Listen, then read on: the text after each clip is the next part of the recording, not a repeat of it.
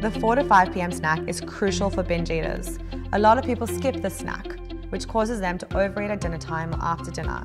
I actually ask my clients to commit to this 4 to 5 pm snack to balance their blood sugar levels, especially a protein rich snack, such as Greek yogurt, raw nuts, or some carrots and hummus. Try having a snack at around 5 pm, remove the guilt, and watch how your energy and mood changes before dinner.